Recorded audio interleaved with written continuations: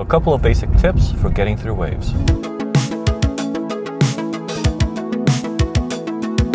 First off, I'd like to say a huge thank you for all the feedback I received in the last video on stability and hull design. I got so much great input I'm going to be looking to share as much as possible in the coming videos. The reason for this topic is in that last video when I was discussing stability, I was showing the kayak being sideways to a wave and several people commented, well, wouldn't you want to be facing the wave instead of being sideways to the wave. And while that is true, that's actually the first tip for this one, that doesn't mean you won't find yourself at some point in different positions and orientations that you want to the wave. Trust me, there's been times upside down, sideways, backwards, being slammed against the ground. Sometimes despite your best ability, the wave will decide for you. So if your plan is to only deal with waves when you're launching and landing, there's still a chance you might end up in a different position you're not expecting on the wave. All right, so let's get into the tips. So first one, as I mentioned before, orientation. Usually the best position that you want to be in versus the wave is staring right at it. Your kayak as it is will want to get through it if it's pointing directly at the wave. The same way the water parts as you paddle through. Get me wrong, there's lots of situations that the waves are going to behave very differently.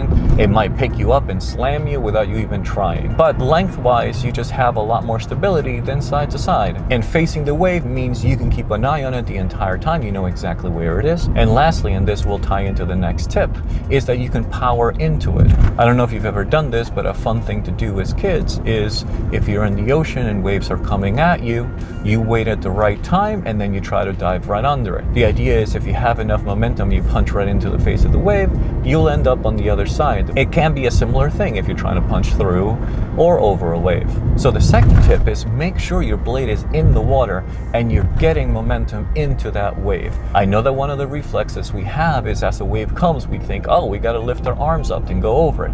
Uh-uh. If the blade is in the water, you have control of your movements. If your blade is up in the air, you're not in control, the wave will be taking over. For me, it reminds me of my time years ago in Charleston for training. I went out with a group out to the jetty in the Charleston Harbor, and we were playing in the tide race. Nigel was our coach that day. One of the exercises we were doing is we were going up and into the waves, coming around, and then coming back with the waves, always trying to be in control. For a couple of us that were just getting used to being in those waves, as we did the exercise, Nigel was next to us, and every time a wave was coming, he would just yell out, Power! Power! Similar to the way Jeremy Clarkson in Top Gear would do.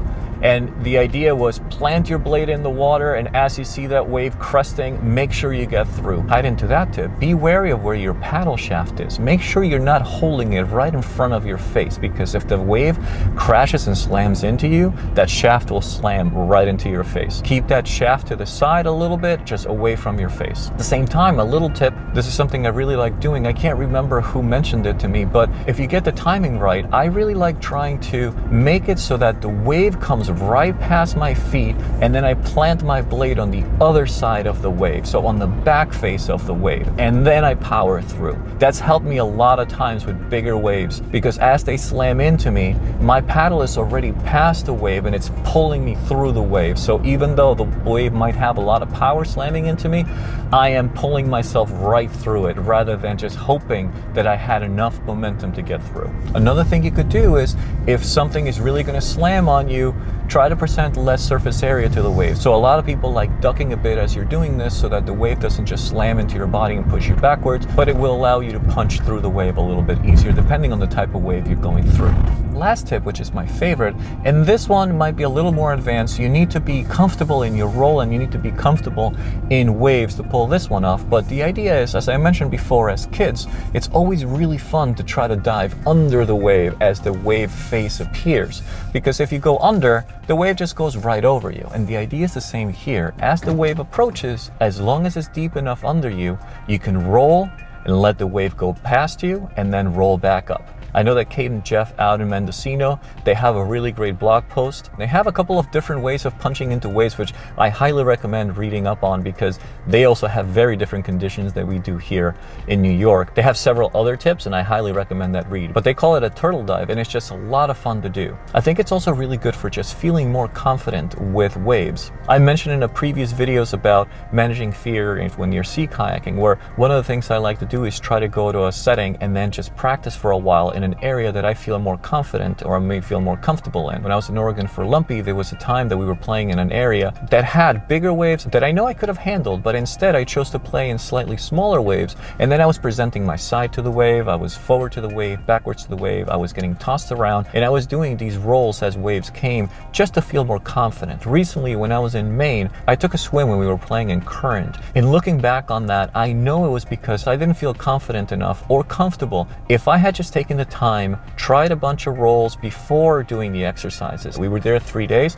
The first day I kept thinking, oh man, if I miss this wave, I don't know what's waiting for me behind me. But by the third day, I felt a lot more comfortable and then I felt more confident to paddle better. Playing in the current, I didn't take the time to feel more confident. So this is a move that always helps me feel more comfortable in different paddling situations. Anyway, to wrap up, please do not underestimate waves the sea always wins. But it's great to work on skills, learn how to handle waves, and do the best you can in them.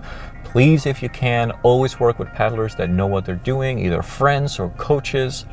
Don't go out alone, especially in the beginning. Go with someone that can help you out, that can give you tips on the spot, maybe taking some surf classes, some rough water classes, and the same thing goes for are conditions okay? Can you handle what's in front of you? Have you been watching sets? Do you understand where waves are breaking? It's very easy to get hurt in waves, even small ones. They pack a lot of power. If there's anything you'd like to add or you have any stories you want to share or any other tips that you like to have while you're playing in waves, please comment below. I hope this video is helpful. Subscribe if you'd like. I'm always trying to put these videos out. So always Luke Romer Kayak. Thank you for watching. See you next time.